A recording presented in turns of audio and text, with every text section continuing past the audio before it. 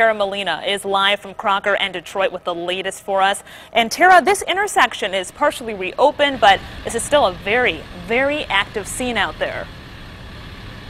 Totally right, Dominique. Very active scene. Two northbound lanes have actually opened up on Crocker, but BCI and Westlake Police are still out here investigating. They've been out here all day long, so a very active scene. And again, some of those roads still are closed off. That's important to note. But just to give you some background in case you're just now tuning in, Devin Desnoyers robbed the CVS down the street on Detroit, then sped off in the white Mazda you see here.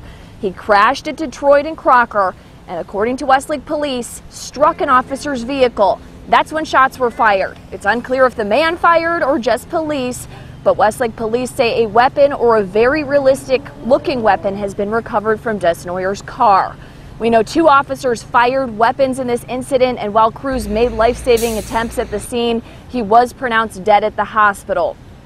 Those officers involved in the shooting have been placed on administrative leave, but right now officials say their use of force was justified. We actually just talked to Westlake Police. We'll have to show you that sound a little bit later tonight. But Captain Guy Turner told us Desnoyers may have been connected to several other robberies in the area. The Cleveland FBI are saying the same thing.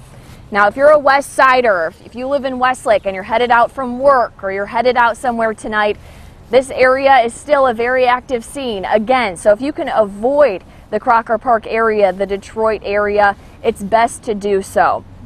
Officials right now are saying to use other routes like Columbia, maybe Lear. So again, if you can avoid Crocker Park, this investigation is ongoing.